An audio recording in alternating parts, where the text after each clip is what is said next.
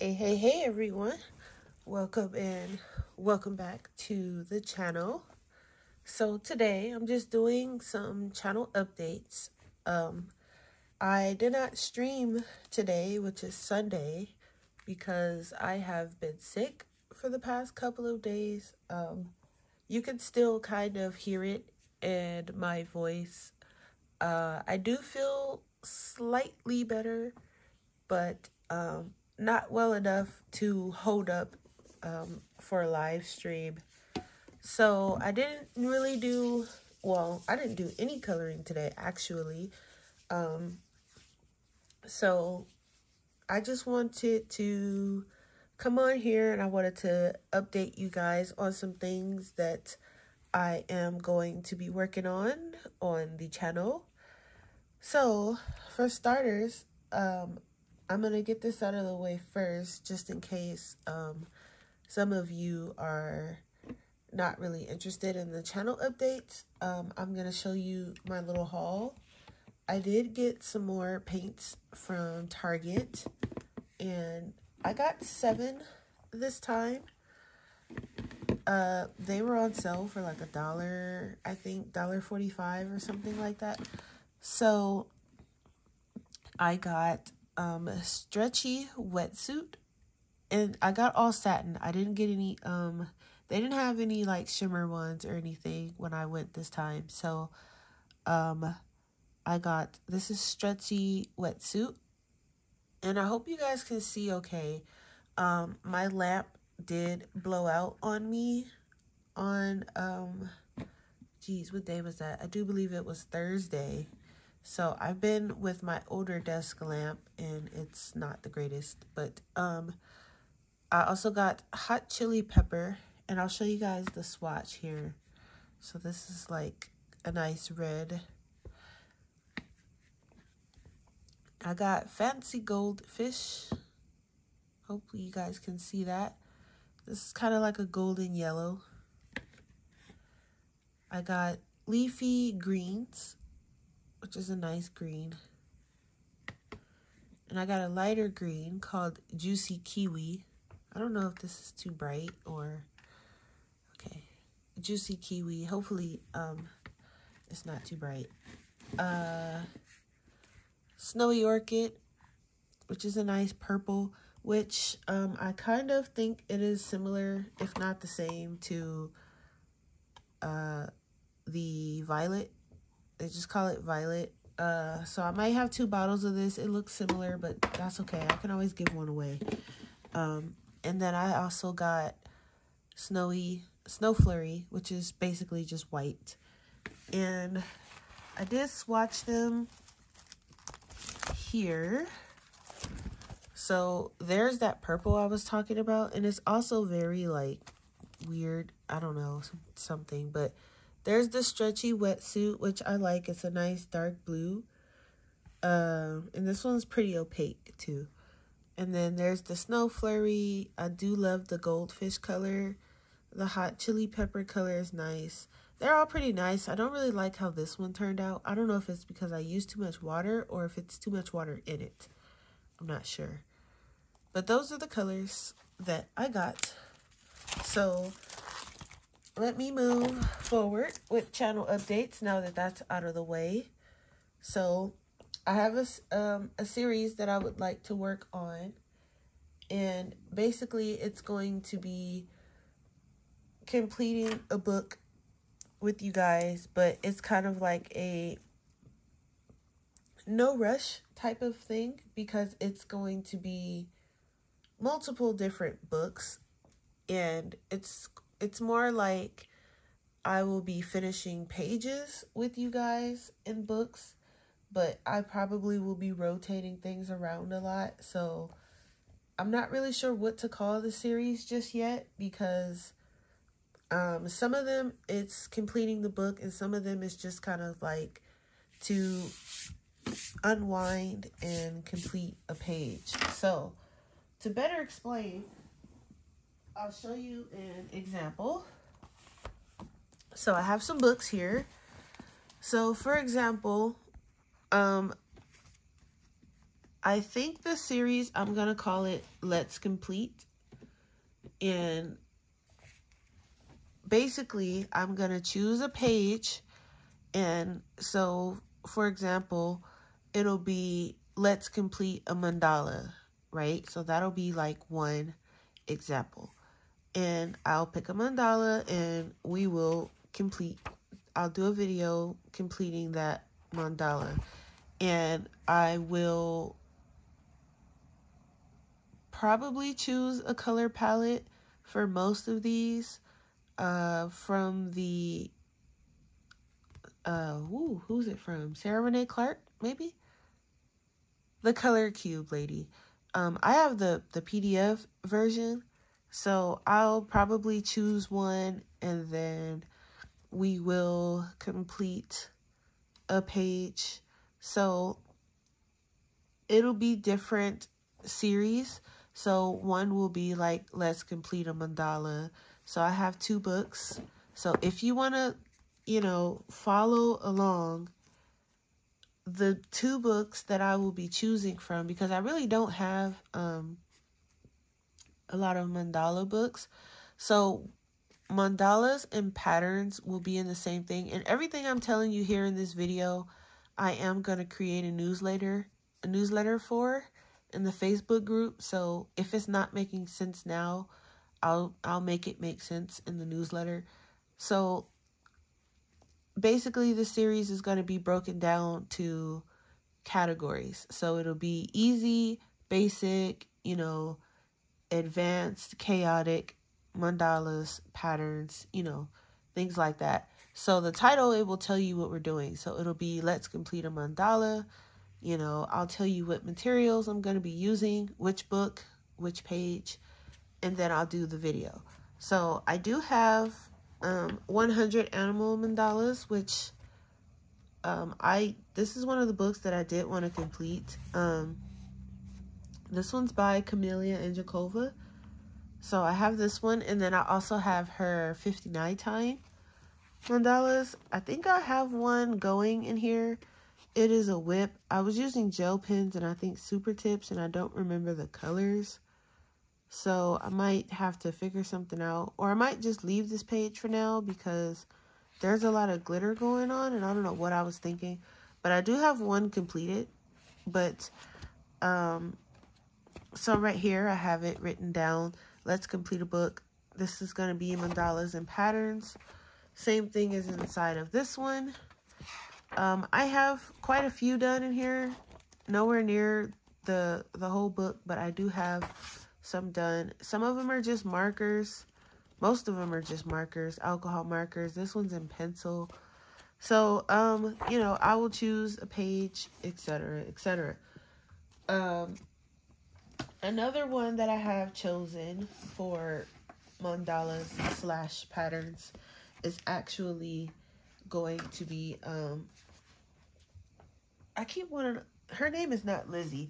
Millie Marotta Island Escape book. And I just knocked over like all of my um out not alcohol markers, all of my paint markers got knocked over somehow.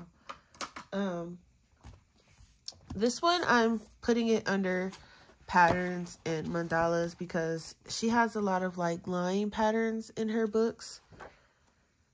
So I do have two whips in here. I have this one and then I have, I do, I think I have two. Yeah, two.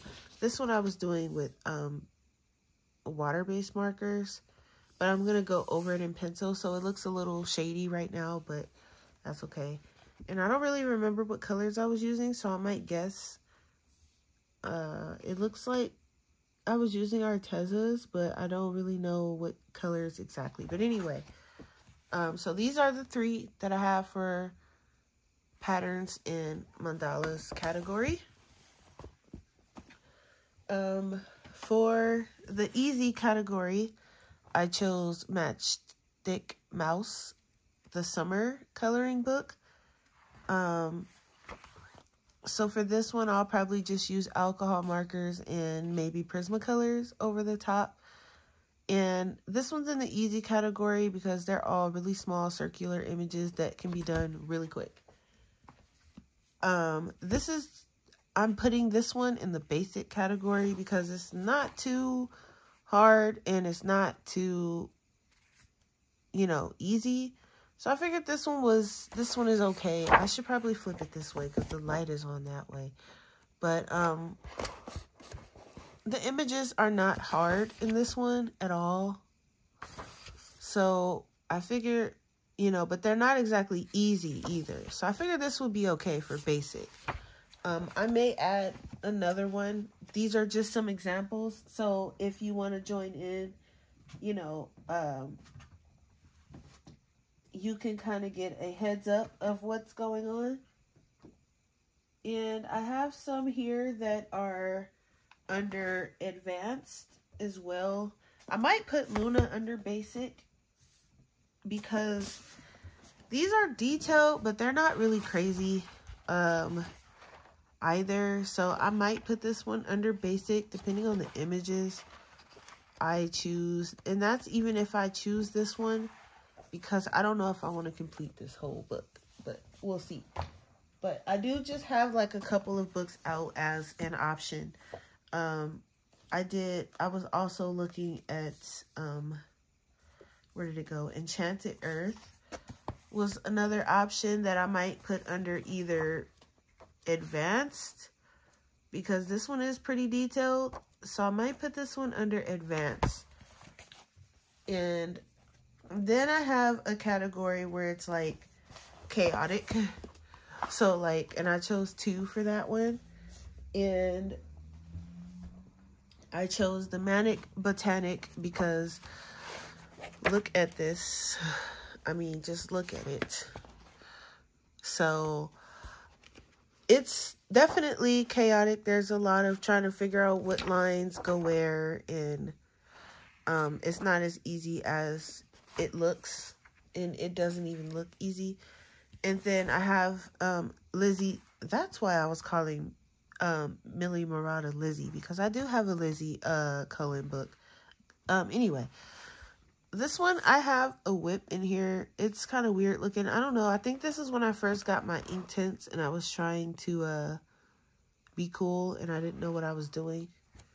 But um, I did choose choose this one for chaotic too because there's a lot of swirling lines and things like that. And so for the chaotic ones, obviously, um, they're going to take a little bit more time. So, you know, there it won't be a full page done in one video. The chaotic ones and the advanced ones will probably be, you know, in multiple videos. And then the ones like the easy and maybe even the basics and the patterns, those can probably be completed in one video. So that's my plan for that. Um, look out for those soon because I am going to start recording um, some of those soon. So look out for that. Um, let me just see here if I missed anything else as far as that goes. As far as the materials go, it will, I'll probably keep it basic to like, you know, alcohol markers, Prismacolors, polys.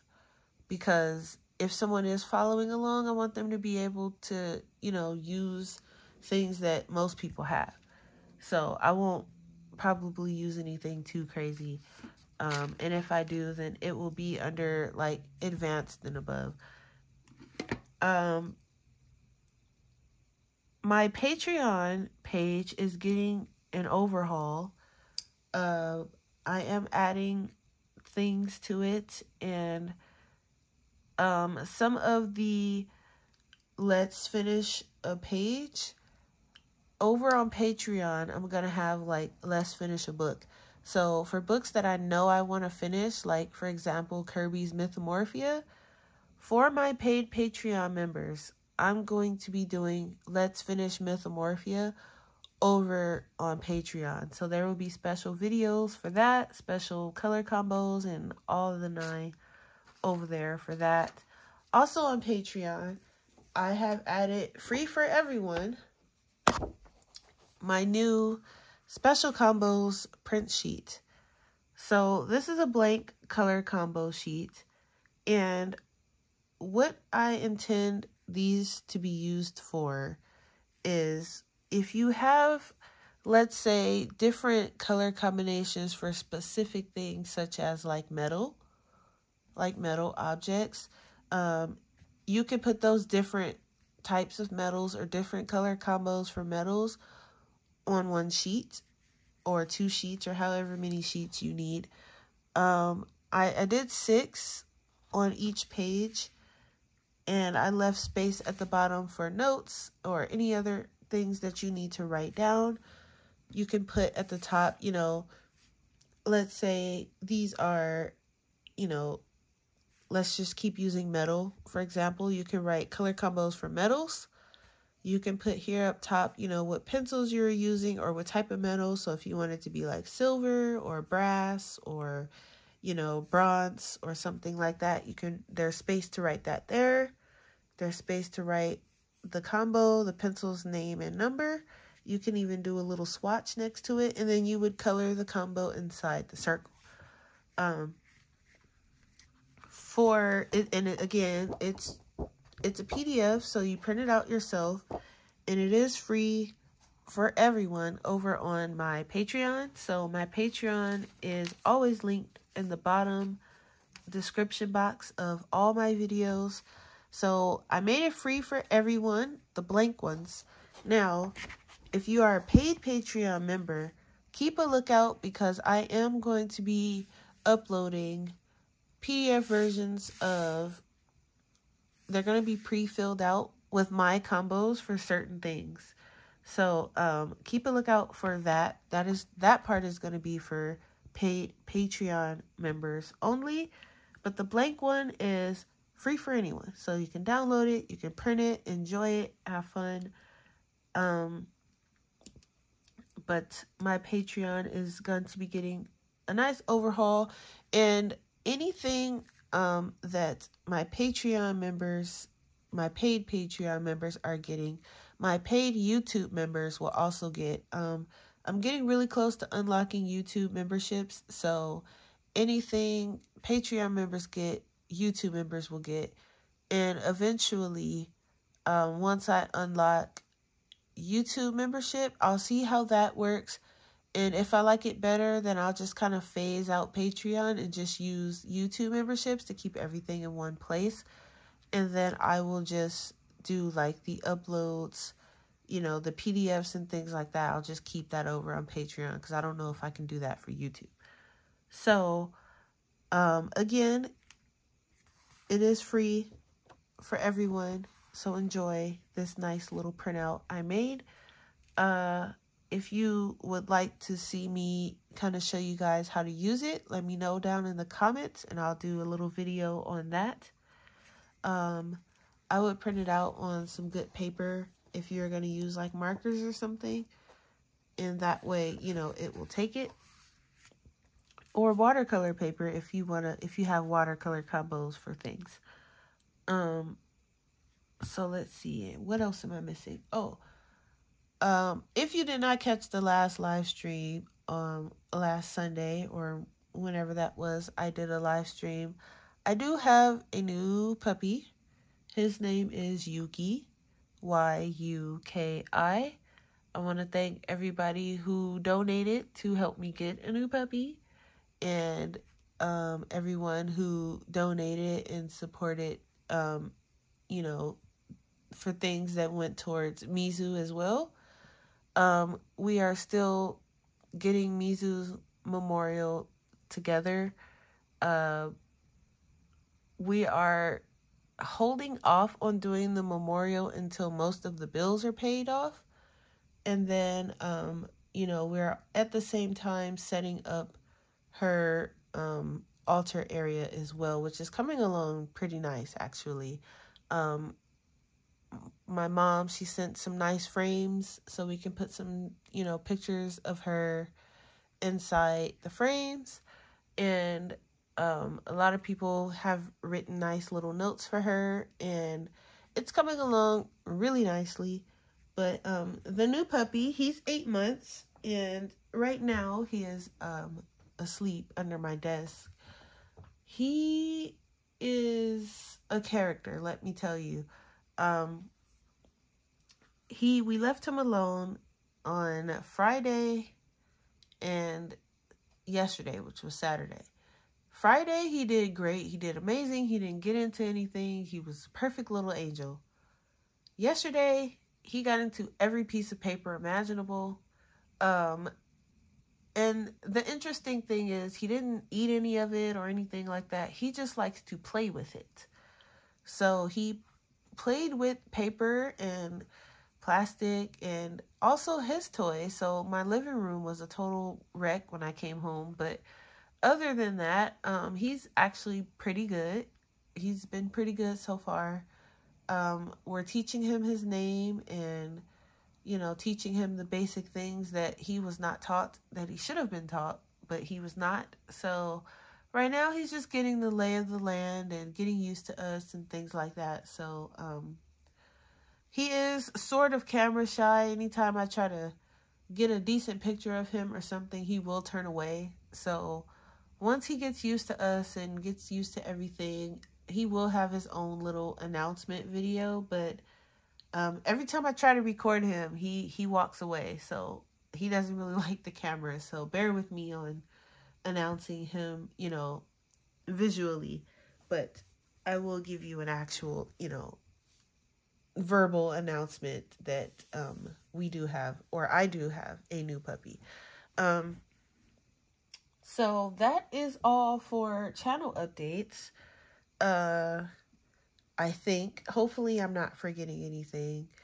And I will see you guys in the next video, um, which should be some kind of um, Let's Color video. I do want to see how well that they do. If they do well, I'll keep doing it. If not, then, you know, I will kind of limit it. I'm just seeing what what you guys like and so on and so forth. So, I'll see you guys in the next video, and thanks for watching. Bye now.